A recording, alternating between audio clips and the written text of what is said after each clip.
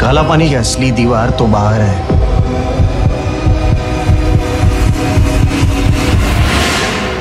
और वो ईटों से नहीं, पानी से बनी है।